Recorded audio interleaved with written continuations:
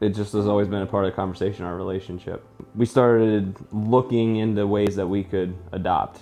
At that point, though, we were 23, 24, 24, uh, and, you know, one income family with a newborn baby, very busy time of life, and uh, it seemed kind of insurmountable the the obstacles that were there. One being financial, the other one being our age uh, to do international adoption. So we really felt like God laid on our hearts to be purposeful about our commitment towards adoption. So even though we didn't feel like the answer was yes at that moment, the answer was not yet. And so we felt like we needed to take steps and prayed about it. And so for the last seven years, we've actually put money aside every month towards adoption, and we didn't know what that was going to look like. We didn't know if that was going to be for our adoption or maybe someday was to give to someone else for adoption, but we just really felt called to it. We prayed about it and we took steps towards keeping the doors as open as possible. Um, and we went through some ups and downs in life and like there was one day Sarah sent me an email talked about adoption from South Korea, and I just called her up and I said, "Honey, what this is? Why don't we just go for South Korea?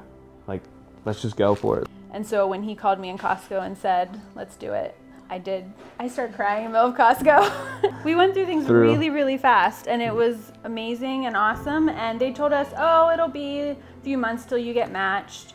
Four weeks later, we got a match. It was crazy. We couldn't say no. yeah. he he uh, so yeah, our little boy, or the little boy that we got sent, is was 11 months old when he was referred to us back in June. Mm. And um, to make a long story short, medically he just had a really rough start to life. But unfortunately, since we accepted his referral the first week of July, um, we haven't had anything happen. So we're waiting right now in that long adoption phase of waiting. We had applied for many grants and we got a no from all of them except for Lifesong for Orphans. It's the only one we got. And I was driving from home um, from work and I got a phone call from them saying that we got a $2,500 matching grant. And I had to pull over because I was crying. I was so happy because I was just feeling torn about how do we go about approaching people about giving money and how do we make ends meet? And i was just there had been no example set for us so we just didn't know how to move forward. Um, so we had to we kind of had to humble ourselves yeah. and really trust that you know god that that was a that the receiving the grant was just a, another affirmation of like god saying you know what? You need to go forward with this but not only go forward with the adoption but you need to share what mm uh, what's on your heart and what what this is for your family and what this means for the church.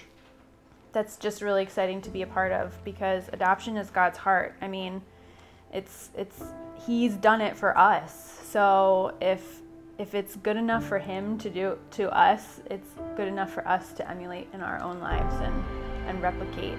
So not everyone's called to adoption. I think we know that we would never expect you know everyone to be called to mm-hmm. adoption but i think everyone's called to care about it and yeah so we definitely want to say thank you i'm glad we get to say thank you I yeah. Just, it's amazing that it's like a local church and that yeah that we get to say thank you to you guys and we're just really really appreciative